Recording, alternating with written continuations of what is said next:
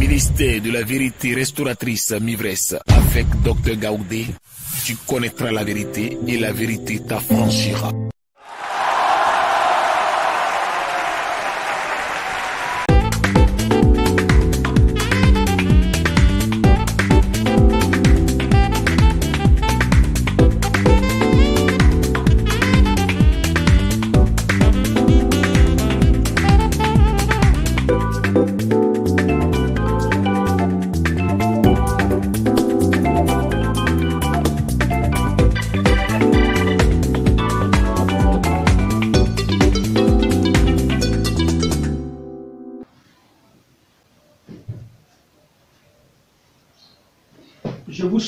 Dans le nom de Jésus de Nazareth.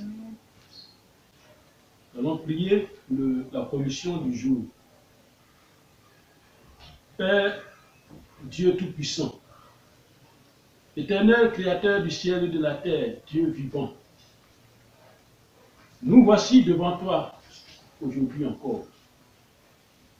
Parle à tes enfants que nous sommes, parle à toutes les nations. Envoie ton message, Seigneur éternel. Instruis-nous, enseigne-nous pour notre affranchissement. Au nom de Jésus. Amen. La parole d'aujourd'hui est tirée de Exode 16, Exode 3, pardon, Exode chapitre 3. Nous rentrons dans la Bible. Nous cherchons le deuxième livre. Pardon, Exode chapitre 3, verset 16 à 19. Exode 3, verset 16 à 19. Et que nous dit la parole de Dieu. Toi qui suis cette vidéo, je veux que tu suives de cette manière en prenant le- la parole qui est donnée. Exode Va. 3, verset 16 à 19. Prends la Va, Dieu. rassemble les anciens d'Israël Hmm? et dis-leur Il dit, va, rassemble les anciens d'Israël et dis-leur, L'Éternel, le Dieu de vos pères, hmm, m'est apparu. Mhm. Le Dieu d'Abraham, d'Isaac et de Jacob, il a dit Je vous ai vu et j'ai vu ce qu'on vous fait en Égypte. Et j'ai dit Je vous ferai monter de l'Égypte pour vous souffler dans le pays des Cananéens, des Étiens, hmm, des Amoréens, des Amoréens, des Phéniciens des Phérésiens, et des Éviens Év- des Éviens et des Jébusiens. et des Jébusiens. Dans les pays où coule le lait et le miel, Mhm. Verset 18. ils écouteront ta voix Ils écouteront ta voix. et tu iras toi Mhm. et les anciens d'Israël auprès du roi d'Égypte Mhm. Et vous nous direz L'Éternel, le Dieu des Hébreux, L'Éternel, le Dieu des Hébreux, nous est apparu. nous est apparu. Permets-nous de faire trois jours, journées de marche dans le désert pour plus de sacrifices à l'Éternel, notre Dieu. Je sais que le roi d'Égypte ne vous laisserait point aller Mhm. si ce n'est pas une nuit. Mhm. Amen. Amen. Jusqu'au verset 19. C'est bien ça? Ok. Si ce n'est une main puissante. C'est la dernière phrase. Donc, voici une histoire biblique vraie qu'a vécu les Hébreux en Égypte.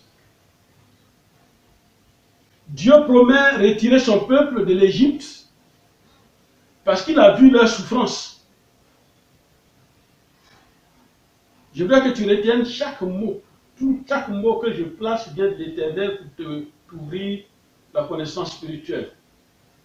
Et donc, je répète, Dieu promet retirer son peuple euh, de l'Égypte parce qu'il a vu la souffrance de son peuple, leur souffrance. Il leur promet la terre, il leur promet la terre promise, c'est-à-dire, il leur promet une bonne terre où coule le lait et le miel? C'est la terre promise. Il leur promet un pays déjà occupé même. Mais C'est un pays où coule le lait et le miel. Et dit, en entrant dans ce pays, voilà les peuples que vous allez rencontrer. Comment Dieu peut promettre un pays qui est habité, il peut promettre ce pays-là à une autre personne, à un autre peuple. À l'éternel, la terre est ce qu'elle renferme, le monde et ceux qui l'habitent. Amen. Donc, dans un pays où il y a d'autres peuples, c'est-à-dire il y a les Cananéens, il y a les, il y a les Étiens, les Amoréens, les Phérésiens, les Éviens, les Jébusiens. Dans Deutéronome 7, verset 1, l'Éternel va préciser le nom de ce peuple-là. Il dit, il dit, parle, et l'Éternel, il parle de sept nations plus puissantes et plus nombreuses.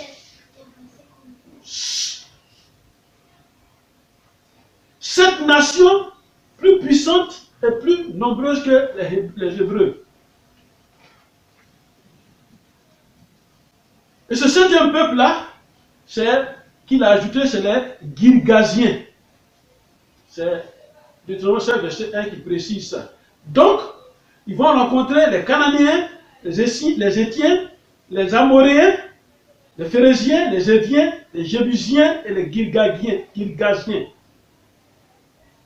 Et l'Éternel demande à Moïse de dire à Pharaon, c'est l'Éternel demande à Moïse de dire à Pharaon, le Dieu des Hébreux nous est apparu et nous demande de sortir de l'Égypte. Alors laisse sortir ton peuple, laisse sortir les, les Hébreux de l'Égypte. Laisse mon peuple aller. Et Dieu va préciser bien, c'est une précision que Dieu va donner en envoyant Moïse en mission. Il lui donne une précision dans le verset 19. Il dit, je sais que le roi d'Égypte, le roi d'Égypte ne vous laissera point aller si ce n'est pas une main puissante. Je sais que le roi d'Égypte ne vous laissera pas aller. Regardez comment la Bible fait. À un moment donné, il parle de Pharaon et puis il parle de roi d'Égypte. C'est pour, pour éviter les répétitions. Mais dans la Bible, il y a des précisions qui sont importantes. Et quand il dit, je sais que le roi de l'Égypte, on en parlera. Amen. Et c'est le test d'aujourd'hui. Amen.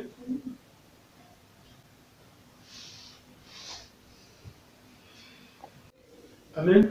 Amen. Et donc, on a écouté le test du jour, mais quelle commission le Seigneur nous donne à travers ce test? Il y a une commission qui est cachée, que l'Éternel donne.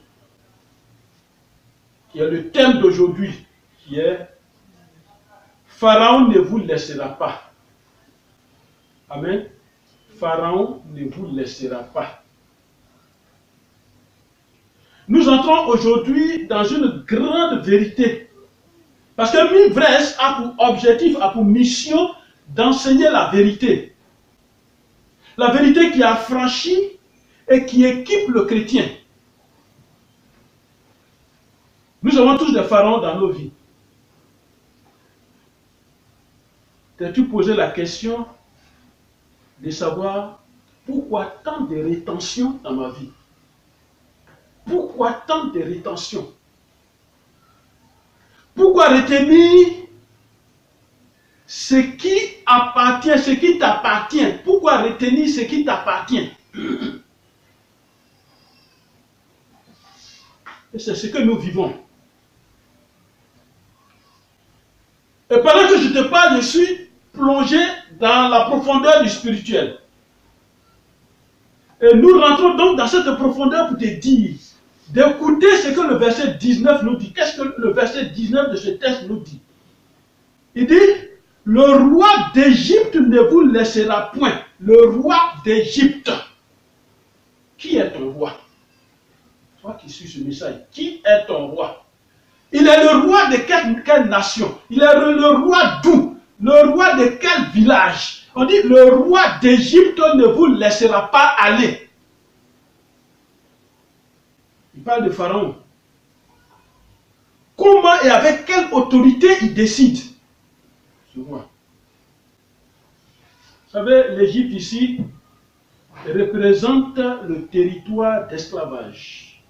Il représente ici le territoire de la sorcellerie. Il représente ici le territoire d'esclavage. Et l'Égypte retient, te retient à captivité. Amen. Pense qu'il n'y a aucune rétention dans ta vie. Toi qui m'écoutes. Il n'y a aucune rétention dans ta vie. Personne ne retient ce qui t'appartient. N'as-tu pas quelque chose en captivité, quelque chose d'important pour ta vie et qui soit en captivité? Regarde, regarde maintenant l'image du roi de l'Égypte. Pharaon de ta vie ne laissera pas. Suis-moi bien. Pharaon de ta vie ne laissera pas. Alors, quelle est la solution de cette rétention? Quelle est la solution de cette captivité? Quelle est la solution de ce refus de ce pharaon? Je te conseille de voir ma vidéo sur le refus du pharaon.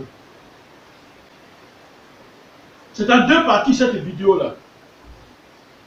Tout chrétien doit avoir cette connaissance dans ce combat de ce monde, dans ce combat physique et spirituel de ce monde.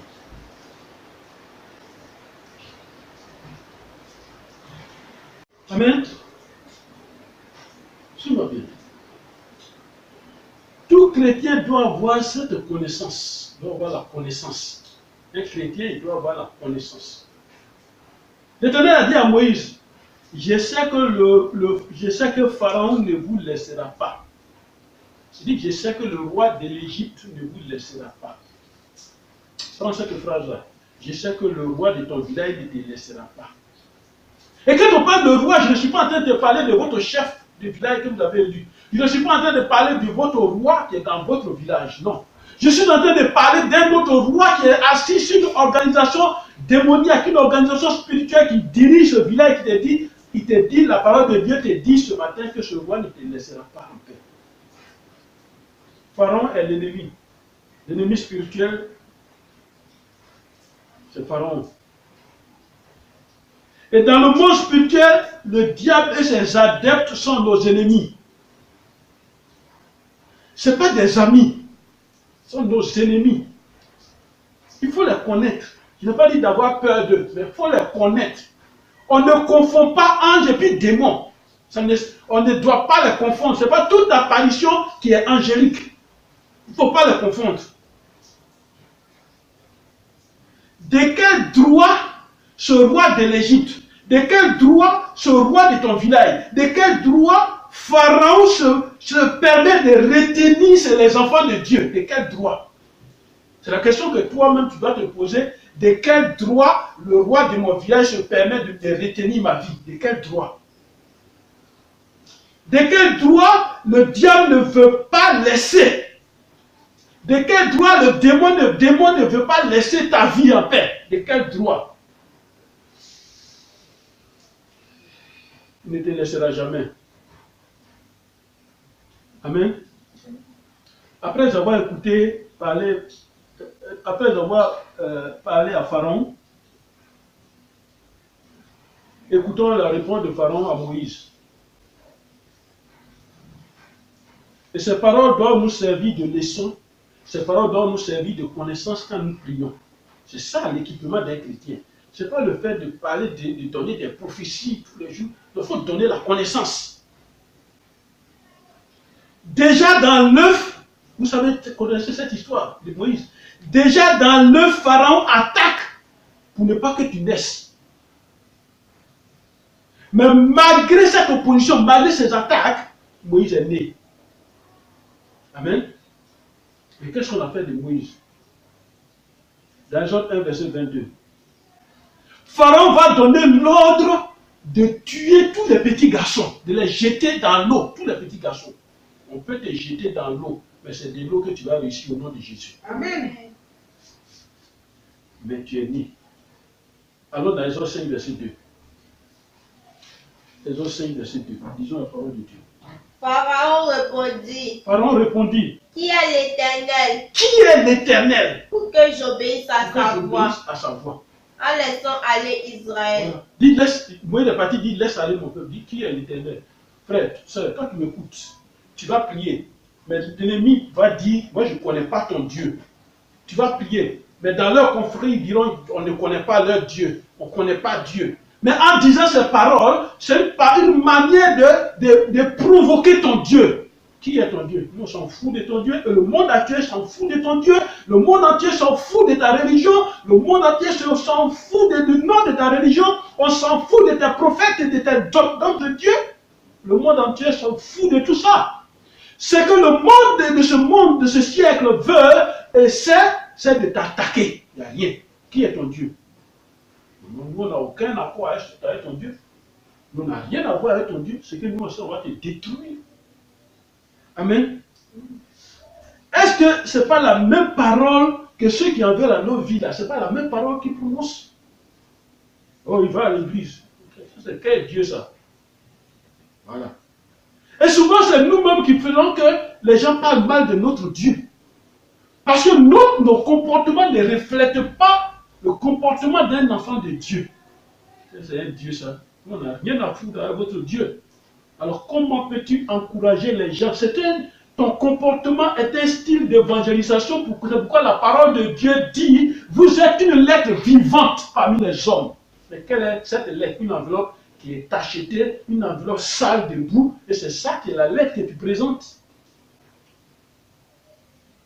Mon frère, ma soeur, la parole de Dieu dit, et je veux qu'on lise avant que je ne, je ne prononce Exode 20, pardon, Exode 5, verset 20 à 21. Exode 5, verset 20 à 21. Écoutez très bien. en sortant de chez Pharaon. Alors Moïse, en sortant de chez Pharaon, écoutez très bien, Il rencontra Moïse il et raconte, Aaron. il raconte- hein, En sortant de chez Pharaon, en sortant de chez Pharaon, il rencontra Moïse et Aaron. voilà, les gens, les, les, les, les- ses frères, en sortant de chez Pharaon, ils racontent euh, comment dire, Moïse et Aaron, et puis ils Il disent les quoi attendait. Voilà, ils les attendaient. Mhm. Il leur dit Qu'est-ce qu'ils vont dire? que l'Éternel vous regarde et qu'il juge. Ils sont fâchés, ils disent que l'éternel vous regarde, qu'il vous juge. Ils sont fâchés, que Dieu vous, vous, vous, vous regarde. Oui. Vous nous avez rendu Vous au nous Dieu avez rendu au Dieu à Pharaon. et Amen. à ses serviteurs. Voilà. Vous nous avez rendu au Dieu à Pharaon et à ses serviteurs. Pourquoi il pouvait dire ça? De par notre comportement, par notre comportement, nous nous rendons au Dieu devant notre Dieu même. Il est parti, Moïse est parti voir Pharaon, Pharaon est devenu plus méchant. Il dit donc nous sommes devenus au Dieu devant notre devant Pharaon. Nous, sommes devenus au Dieu devant Pharaon. Il ne nous considère même plus à cause de votre parole. Le combat peut arriver à ce niveau où toi-même tu penses que Dieu te regarde comme quelqu'un qui est une quelqu'un qui est mauvais, quelqu'un à détruire. Ce combat peut arriver à ce lieu. Parce que arracher quelque chose de, de- de- de la gueule d'un lion, arracher ta brebis, ton mouton de la gueule d'un lion, c'est pas chose facile. Amen. Amen. Amen.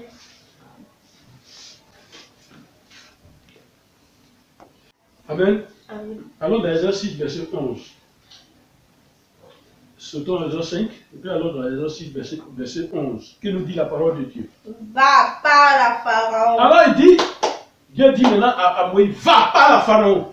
roi d'Égypte, Voilà, il dit par la Pharaon, roi d'Égypte. pour qu'il laisse aller les enfants d'Israël hors de son pays. Hmm? Voilà. Amen. Amen. Amen. Amen. Pour qu'il laisse aller. Regardez tous ces mots-là. hein. Suivez-moi très bien. Il dit pour qu'il laisse aller. Tout ça. Oh, au début, il a dit il faut le faire sortir. Maintenant, il dit pour qu'il laisse les enfants aller hors de son pays. Eh. Le problème n'est pas de sortir, il faut sortir hors. Il faut être hors. Sortir là, c'est autre hors. Restons pas dans le territoire des ténèbres pour vouloir être chrétien. Sors tout hors du territoire carrément. Apprenons à parler à Pharaon. Chrétien. Apprenons à parler à Pharaon et non avoir peur de Pharaon.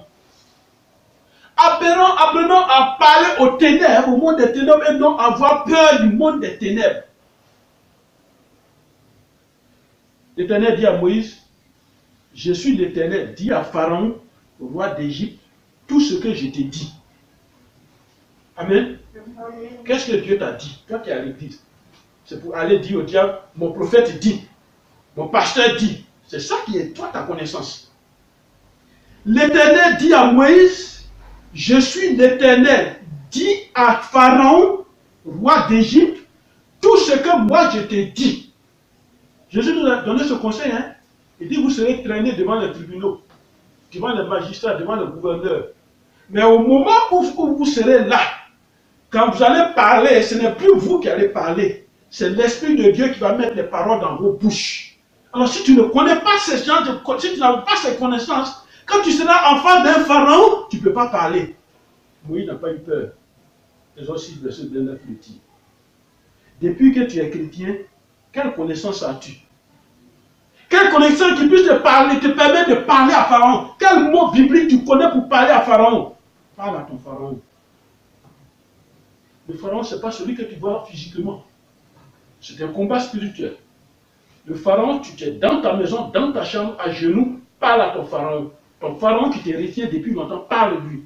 Il attend que tu lui parles. Tu lui parles au nom de quelqu'un, au nom de Jésus qui a reçu un nom au-dessus de tout nom. Et à ce nom, tout genou fléchit sur la terre, sous la terre et dans les cieux. Et tout le monde confesse qu'il est Seigneur. Amen. hein? Amen. Amen. Quelle parole connais-tu? Les paroles de certains chrétiens, c'est mon pasteur a dit. Et c'est à ça que tu vas vivre dans ce monde de combat. Mettons affaire des religions de côté. Mais vous-même, vous voyez déjà que nous sommes dans un monde de combat. On a commencé les guerres avec les armes, ça ne suffit pas. C'est les, les armes bactériologiques maintenant qui viennent, les virus. Nous sommes dans un combat. Réveillez-vous. Souviens-toi de la tentation de Jésus. Il s'agissait de quoi dans cette tentation? On en parlera un autre jour. Il s'agissait, Jésus voulait nous enseigner ce que ça veut dire parole contre parole. Toi, le diable fait chut, ça va le diable va me tuer, puis tu fuis. Parole contre parole. Et qui a gagné dans, dans, ce, combat? Jésus et Satan. Parole contre parole. Qui a gagné? C'est Jésus. Parle à ton pharaon. Nous en parlerons un autre jour. C'est un autre thème. Parole contre parole. Amen. Pour d'autres chrétiens, leur parole, c'est la prophétie et les révélations. C'est ça lui qu'on est.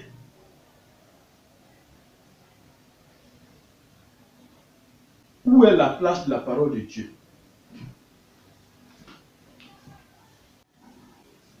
Amen. Vous savez, de la conception de l'homme, passant par sa naissance jusqu'à sa mort, nous sommes dans un combat, chrétien ou pas, nous sommes dans un combat. Et c'est pour mettre de l'ordre dans ce combat-là qu'on va à l'école, pour qu'avec ton niveau, ton diplôme que tu as, ça te permette d'atteindre un autre niveau hiérarchique.